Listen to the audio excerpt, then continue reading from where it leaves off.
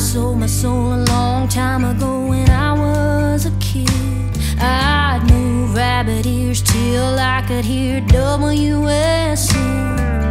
Dreaming of the day the Opry stage would be under my feet.